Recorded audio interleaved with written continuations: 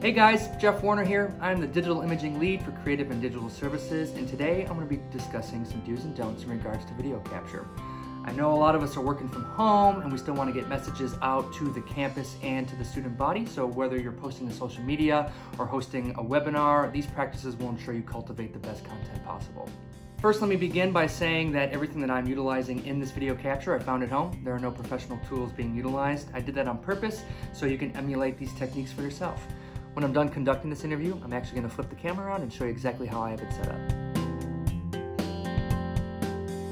First, and very important, is lighting. Right now, I'm in my living room with my sliding glass door to my left, allowing that natural light to hit my face. I also have a light propped up hitting the right side of my face. You're gonna want as much light on you as possible. It's gonna feel odd, but trust me, the footage and the lens will appreciate the more light that's on you.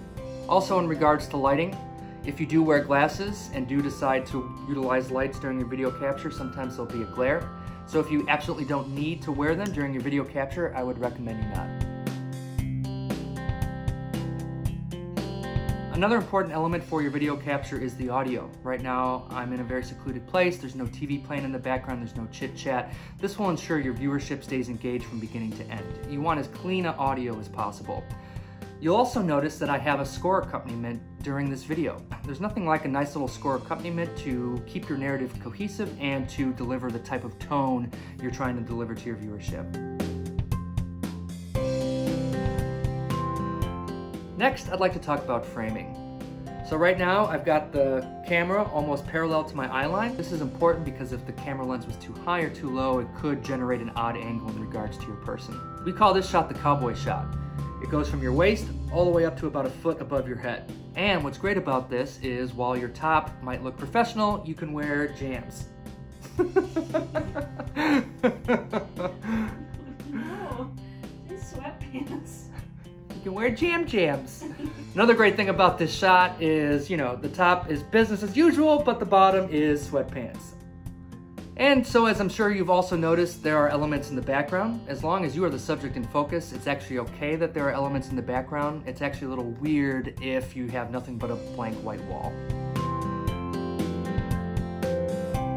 Next is the kind of hardware you're utilizing, right? Whether you're using the webcam that's on your laptop or the camera lenses on your phone. Traditionally, the lenses on the back of the phone are significantly stronger than the camera on the front. So if you do have help or do have someone that can assist you with the framing and hitting the record button, I would elicit their help. Also in regards to hardware, if you're utilizing things like your, what is that thing called? Shirt. No. the earbud if you are concerned about audio or ambient noise interfering with your video capture, you can use things like your earbuds with the microphone, which would be closer to your mouth and ultimately would record cleaner audio. Also, headphones could be used if you want to hear exactly what's being recorded. Last is post-production. There are an array of apps that will actually let you edit footage directly from your phone, like Adobe Rush. There's also software for your PCs or Macs, like Adobe Premiere, Final Cut, Avid. Ultimately, they all do the same thing, and in regards to cutting, really what it comes down to is timing and cultivating those best moments from your footage. Also in regards to post-production, you may have noticed that I have two angles running at the exact same time.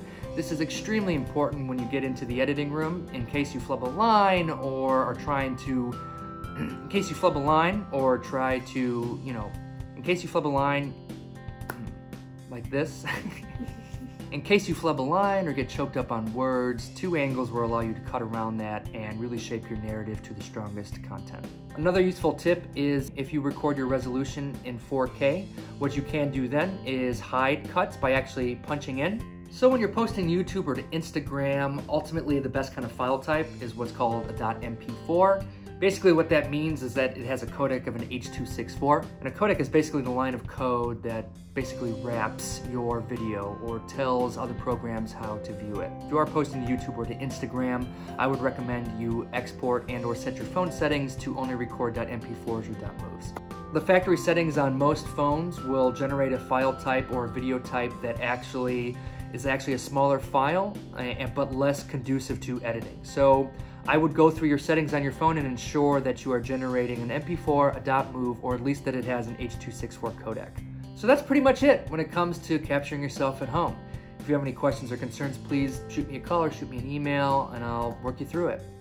Stay safe and be healthy.